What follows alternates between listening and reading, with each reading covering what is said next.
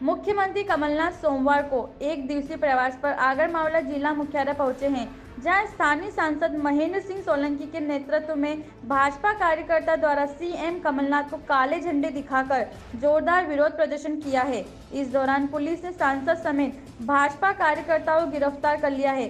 Police फ़िलहाल गिरफ़्तार लोगों को कोतवाली थाने लेकर आई है।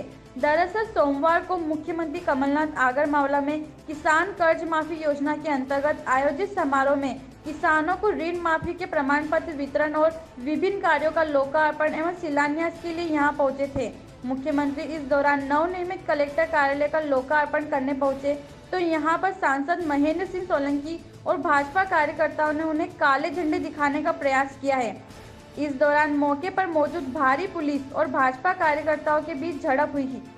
बाद में पुलिस ने सांसद सोलंकी समेत अन्य प्रदर्शनकारियों को गिरफ़्तार किया और कोतवाली थाने पहुँचाया, जहाँ सांसद सोलंकी ने जमानत नहीं लेकर जेल जाने की बात कही। उन्होंने कहा कि मुख्यमंत्री ने आगर उपचुनाव के मद्देनजर जनता से झूठे वादे किए और जनता को भ्रमित किया है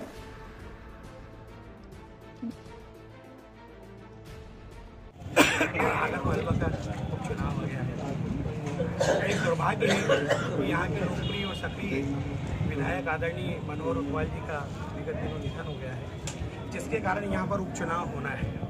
पूरे प्रदेश की जनता त्राही त्राही कर रही है, पूरे प्रदेश का किसान त्राही त्राही कर रहा है। मगर इस उपचुनाव को जीतने के लिए आज कमलनाथ जी आए थे और यहाँ पर घोषणाएँ करके गए हैं। हमने अभी तक देखा है कि पिछले एक वर्ष उनकी सरकार को पूर्ण हो चुके हैं। उनके द्वारा जो भी घोषणा की गई है, वो घोषणा आज दिनांक तक कभी पूरी नहीं हुई।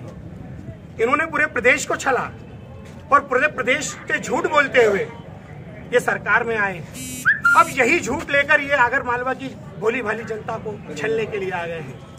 देखिए, अब इस सांसद के बारे में कुछ कहना मैं उपयुक्त समझता नहीं। ये उस केडर का है ही नहीं कि मैं इसके बारे में कुछ बोलूँ। एक इतना अच्छा मुख्यमंत्री कमलनाथ के रूप में मध्य प्रदेश को मिला है, जो झूठ नहीं बोलता। जो शिवराज मामा इनका मुख्यमंत्री था, बीजेपी का, पूरी झूठ की दुकान चलाता था।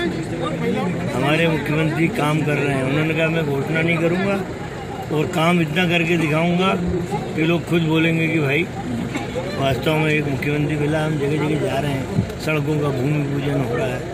गौशालाओं का भूमि पूजन हो रहा है जगह जगह काम हो रहे हैं। ये ऐसा व्यक्ति मतलब ये इस, इस देवास शाजापुर की bureau report voice of MP